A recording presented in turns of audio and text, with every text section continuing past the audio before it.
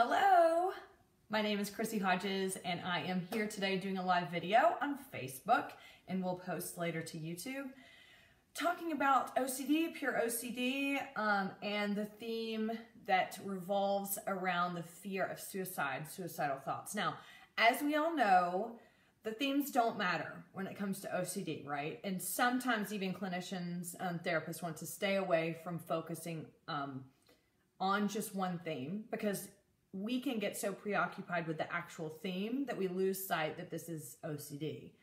And but the reason why I like doing these types of videos is because sometimes it can feel really alone when you are suffering with a specific theme and you are unable to find someone that understands it or gets it. And some of the little things that, not little, but the things that go along with the different things, like um, when there's violent intrusive thoughts, you can have urges. And, you know, when there's sexual intrusive thoughts or even violent, you can have the groinal.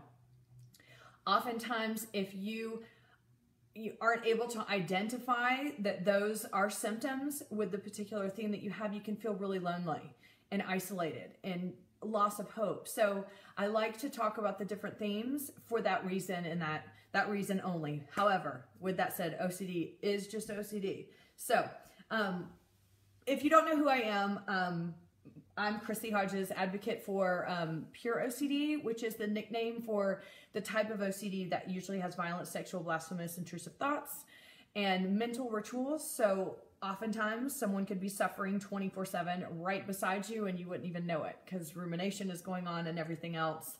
Uh, but this is a whole, this is again just OCD, uh, very, very common, very, very treatable. I'm also the author of Pure OCD, yay, the Invisible Side of Obsessive Compulsive Disorder, I do consultations for referrals for OCD therapists worldwide and peer support to help normalize what you're experiencing, to help you feel less alone, and also um, to uh, normalize the emotional turmoil that OCD puts us all through, right? Um, this is an interesting theme of OCD and one that I've wanted to talk about for a while, but and, and have been asked to talk about just to talk about some of the realities of what it is. Um, it, it, not that I've put it off, but maybe a little. My story in, in regards to living with OCD involves a suicide attempt. So I do have people that wait to reach out when they need peer support or when they want to do consultations out of fear of talking to me and hearing my story and being able to find something about it that they identify with um, and think, oh my gosh, but she ended up attempting suicide. So does that mean that because my story uh, mirrors hers, that maybe I will and maybe I'll be successful, or they may meet me and and hear something about me that makes them feel like they're identifying? And does that mean if she attempted suicide, then I will? So it isn't that I was avoiding in an OCD way. but it is a sensitive topic and especially because I have experienced it and I wanted to make sure that I just felt really confident about doing this video before. Um, and a lot of the reasons too is because I know what it is like to feel or to be suicidal. And um, I don't want to in any way, shape, or form give you reassurance um, or try to put anything out there that is comparative in nature from the fear of suicide and actually being suicidal. Um, so we are, for all purposes, going to keep this strictly about when you have suicidal themed OCD. I'm not going to talk at all about what it is like to be suicidal. And to be honest with you, if that's something that is part of your compulsions and you're watching videos that's saying like, oh, well, this is what it's like to be suicidal versus have, a, you know, th this is not going to help you. This is, it's not going to help, you know, because all that does is drive the compulsion deeper of you trying to compare, okay, well, if someone's suicidal, then they feel like this. But do I feel like this? And as we all know, OCD is such a shapeshifter that it that it can mimic whatever it is that we feel like we're safe in in the compulsions. And then all of a sudden you're thrown into a whole other wormhole down here that you have to work your way out of. So with that said, let's talk about what the fear of suicide looks like. Now, for people, if you're listening and you don't have OCD, you may think, the hell does that mean? Like, either you're suicidal or you're not, right? Well, yes, technically, but wrong when it comes to being baited by a fear in your brain and then all, and then engaging in compulsions to try to figure out whether you are or not. The simplest explanation is this: a person with OCD that is um, has a fear of flooding the house. Okay, this is a fear that is instilled in them, and they are standing in front of a sink and they see it, they're turning it off, they're tightening it off so it won't drip and, and fill up the sink and flood the house while they're gone. They can logically see that it's off, but cannot believe that it's off. So it's the, well, I need to check one more time. I need to check again. I need to, I, I see that it's off and I know this is stupid, but I just can't stop. So if you apply that to something like this, you can see that that makes sense. It's the, well, I don't think I'm suicidal and I don't feel suicidal, but what if I am because I had the thoughts? That's where things get tricky for us because we give meaning to thoughts. And then when we give meaning to them, then we try to solve them with logic over here. And then OCD, of course, is like, mm, get out of here, logic. I want to keep you stuck in the fear. And so the bottom line is, is that having thoughts about suicide or even just, you know, fleeting thoughts as in, my dog is walking by, by the way, so if you hear, okay, or if he snorts or something, it's just him. um, most most people have either thoughts about suicide or just have some fleeting random thought about, you know, what if I'm driving along and there's a cliff and I just turn the car and fly off the cliff. Now, does that mean that someone's suicidal? You know, probably not. It just is a fleeting, intrusive, weird, unwanted thought. So when someone is prone to or is living with OCD and they have this thought and it latches on of the why did I have that thought? Here we go into that horribly tormenting cycle of why did I have the thought? What does that mean? And how do I how can I make sure that I don't act on it? You know, and that's the torture of it. How do I figure out if that means something and how do I keep myself safe from acting on it?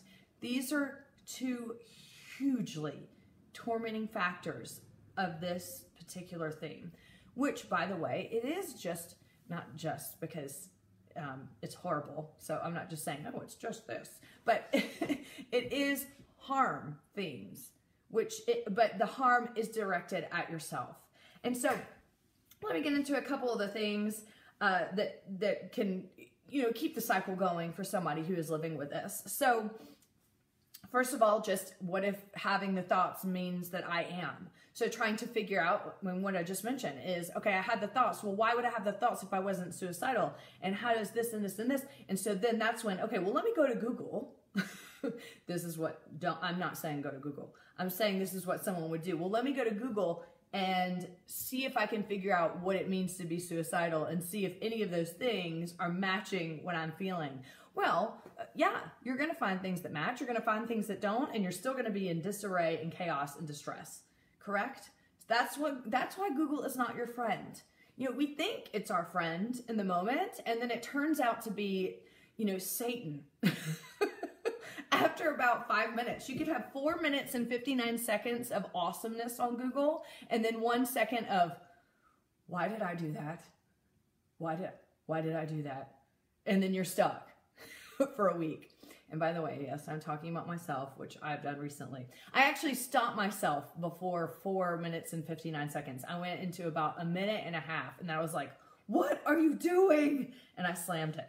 I slammed it down, and, and I have not gone back yet. So um, that doesn't mean that the temptation isn't still there.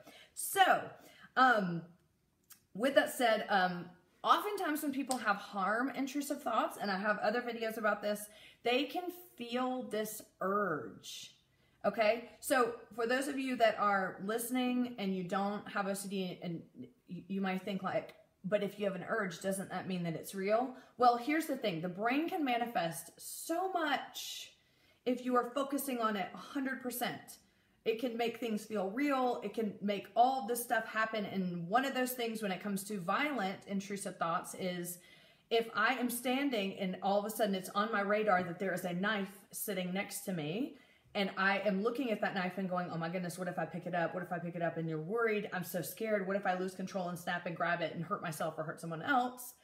You actually are focusing on it so much your body might feel like it's going to lose control. This is what we call, as sufferers of OCD, having an urge.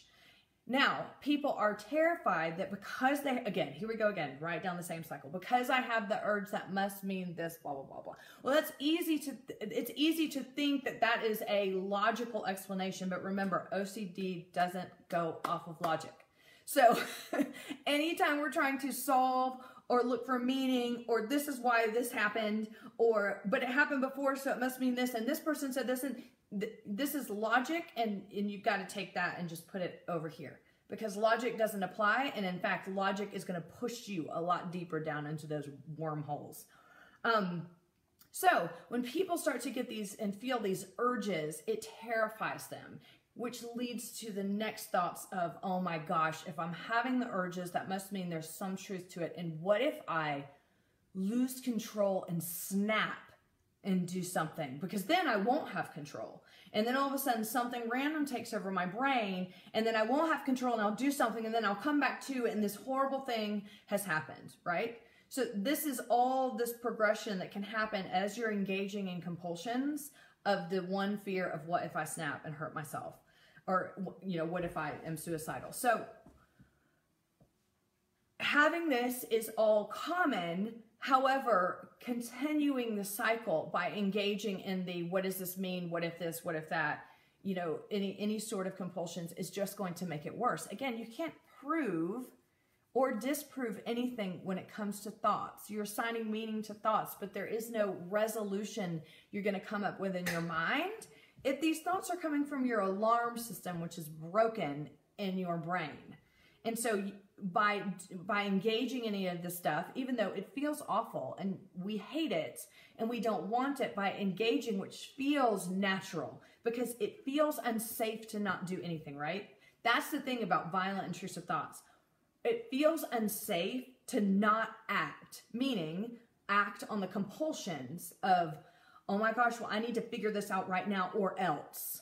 Well, when it, anytime you're saying or else, there's an urgency, which, you know, I don't want to give reassurance, but probably means somewhere it's OCD, like pushing for you to act right then, correct? So anytime there's that urgency, that's for me. Okay, I can only talk about me and my own recovery. That when the urgency hits, the I need to go Google right now. I need to sit and ruminate and figure this out right now. I need to mentally review right now. When that urgency hits, that's when I go, okay, I recognize this pattern. I recognize the pattern.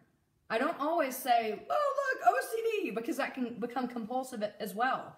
But I recognize that pattern and I think to myself, okay, well, I don't have to engage in the compulsions now. It is going to suck and it doesn't feel good you know, you want to do what feels like, oh, it's going to keep me safe right now.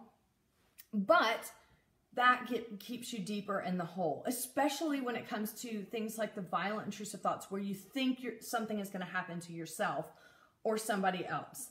Um, so you can learn those patterns of behavior by working with a therapist who's trained to treat OCD. They will teach you how to change the behavior after you recognize that this, this is OCD. So sorry, I went a little bit off on the treatment aspect of it, but not because I don't treat OCD, but how I manage it in regards to having treatment. So let me get back on track. Um, so we've discussed the, well, I have the thoughts of hurting myself, so that must mean they're true, or oh my gosh, I'm having urges, so that must mean that it's true, or I'm capable of it, or I need to prove or disprove that I'm, well, here's another thing that people who are fearful of of whether or not they are suicidal or not. The fear of being depressed. So oftentimes we will read, you know, when we read about suicide, which meant you were Googling about it, um, when you're reading about suicide, you will often hear individuals who become depressed and experience depression long term, yada, yada, yada. Um, suicide becomes part of that depression. I'm, I'm seriously not like quoting wiki or anything. I'm just I'm just telling you what you're probably going to read. Oftentimes when you're reading about suicide, depression is going to be attached somewhere in there, right? And so that becomes a huge focus for individuals living with suicidal themed OCD of oh my goodness, well am I depressed and have I been depressed and what does it feel like to be depressed? So there we go. There's a whole other layer that you can go Google, right? That you shouldn't. you know, people will go and start Googling depression and it's, you see all the symptoms and you're like, well, I think I fit that. And I think that, well, I think that I might, and you know, I am tired and I am this and I am that. And again, the brain is so powerful and the OCD brain is so manipulative. And it will gaslight the shit out of you to think that whatever you read is really happening to you when it's really not but you're actually manifesting it because but you are buying into what you're reading to perpetuate the cycle. So this is often a huge trap that people fall into. The well i need to figure out if i'm depressed. And then there's the well, I I need to go get help or I need to see if I'm diagnosed with depression and then oh, if a therapist that you go to is not an OCD specialist does not recognize this, they may listen to the language and think, "Oh, maybe they are depressed or they are suicidal, so let's get on antidepressants." Oh man, this this opens up layer number 3 for googling, which is, "Oh my goodness, people who get on antidepressants they can be suicidal. It can cr- increase suicidality. So I'm not getting on it, which is, you know, I, if you weren't supposed to be on it in the first place, could be a good thing. But remember, I'm not saying that it is or isn't. But that adds a whole other layer of thinking to yourself, but what if I'm depressed and I can't be on antidepressants because the antidepressants make me suicidal? So if you're listening to all this, I think that you can hear what I'm saying. It is the never ending questioning of, keeping yourself safe from hurting yourself. When in reality, getting the right treatment, getting the right therapy is going to help you manage OCD, not manage the fear of being suicidal. And so there's so many avenues that this can go down and then and then and then not to mention the triggering aspects of this of it always hurts my heart thinking about all the people that suffer when we get the you know the rash of news stories or even you know high profile news stories of suicide. Because you, you know it's if you're having this theme if you're having any theme for OCD it's always on your radar. So anything you hear in a news story or anything you see on TV or or whatever social media but whenever you whenever there's this you know, there's high profile suicides. My heart just breaks because I know that what happens is people who have this fear are going to go on, and this is this is another part of it. It's I need to find out everything about what this person was going through so I can make sure that I can't see my story in theirs. And that that also becomes compulsive. It's the I need to identify how I am different from people who've actually attempted or have died by suicide. This this again opens up a doorway for so much compulsive behavior. When in in the realities of living with OCD and being in recovery from this type of theme, it is the you know trying to look at it as you know maybe I am, maybe I'm not. You know, but I'm not going to engage in the compulsions that are associated with this thought. Now, with that said, I'm not going to I'm not going to sit here and be like, it's so easy, just do that. I know, I know, I know how hard this is.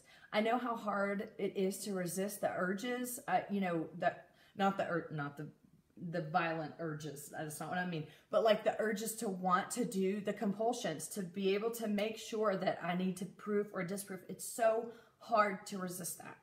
I get it. But the thing is, is that you don't have to suffer because OCD is treatable. Now, with this particular theme of OCD, I also want to say it is really important that you make sure to see a therapist that understands OCD. Because the last thing that you need if you are suffering with this theme is to go to somebody who doesn't understand it and all of a sudden they are alarmed and alarming you, right? So a therapist who is able to understand and distinguish between anxiety, an anxiety disorder, and how anxiety can drive that versus actually having the symptoms and needing treatment ASAP. I know that probably just triggered some of you who have this theme, but I'm just I just want to drive that home because in your mind, you're going to be going, but what if I don't know if I need treatment ASAP? I mean, what if I do go to an OC therapist and they don't take me seriously and I just, okay, so I know, trust me, I know how the brain is probably going off right now. But at the same time, this is what I like to say. Is it really going to hurt to see an OCD therapist or talk to someone who has OCD or who can treat OCD? Um, just to see, just to see what they say. Is it really going to hurt? Because chances are, it, it's it's like taking the risk that what if you found someone and they are able to treat you and they are able to help you manage this, right? So, with that said, I want to go into um, just quickly before I uh, before I finish up. Um, I understand some of the things that living with the fear of suicide and um, the suicidal thoughts, you can often feel unsafe alone. It's the fear you don't want to be alone because what if I snap? What if this? What if I hurt myself? What if that? Um, and then also, you know, just the desperate need to get reassurance from other people of do you do you think that this is do you think that I'm going to do this? Do you think these fears are real? What do you think I should do? What do you think this or that? I realize all this, and, and again, I just want to emphasize to you, I know how real all this feels. So, you know, I can I can sit here, uh, uh, you know, staring at the camera, and I am not bullshitting you. That I I understand how real this feels. I understand that in the moment, that desperation overrides almost everything because of the sheer terror and fear of the what if that you've been protecting yourself against for however long, okay? All of the fears that accompany that of the what if I go to the wrong therapist and then I do snap and I do this and what if that and what if this? Well, I'm going to just pose one more question. What if this actually is OCD? What if that and what if you can get help? And what if you can turn this around and learn to manage this? And you know what? I always have to tell myself that when I'm triggered with something because my brain goes wild. My and I say this often. I I still don't believe that I have OCD at times. I'm like, "Oh my god, this is real this time. It's not OCD." I mean, every time it's it because it feels so real. So it doesn't feel like it actually could be an illness. Right? But I always tell myself, and kind of what is the uh, deciding factor in me deciding to set up my own ERP because I've already had therapy with a specialist is, but what if it is OCD? And what if just by seeking out treatment or medication or both can help? Is that, what if that is a possibility too?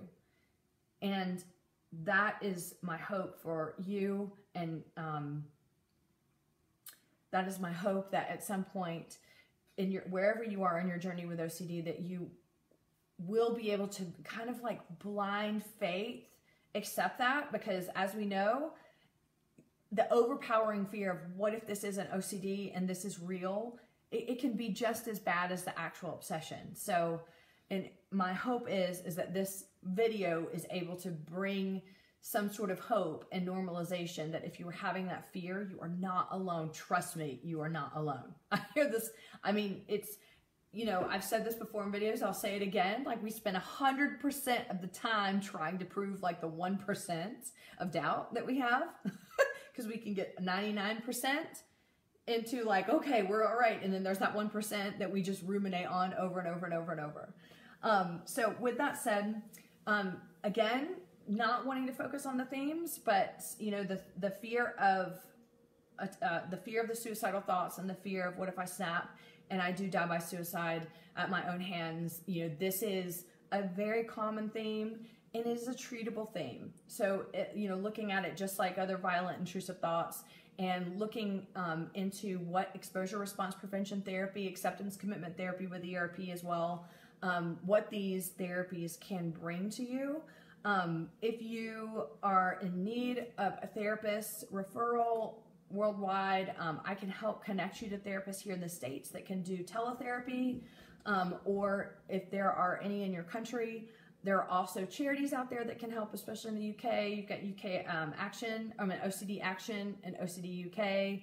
Um, so being able to utilize whatever resources that you have to be able to look forward and look toward getting help. A couple other resources that I want to throw out there. Jonathan Grayson has Freedom from Obsessive Compulsive Disorder workbook.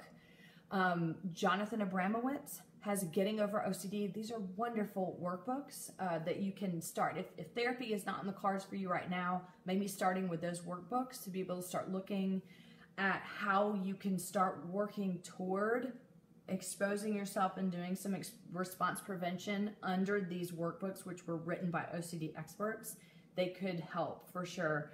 Um, and then, you know, just looking up in your country or in your state or wherever you are, any sort of um, OCD support groups or OCD foundations that might be able to help. So, with that said, fear of suicidal thoughts and fear of what if I snap um, and I hurt myself or I attempt suicide. This is a very common theme. Make sure that when you are getting help for this, you are looking for an OCD therapist that can help and understand the difference between anxiety um, disorders and OCD versus not understanding that this isn't just fear based. Um, if you need to contact me for a referral consultation or to do peer support, you can find me at chrissiehodges.com or you can email me at ocd.chrissie at gmail.com. So thank you for being here. I hope that this was helpful um, to help you feel less alone in this. Um, recovery is possible. There is hope, and you are not alone in this theme.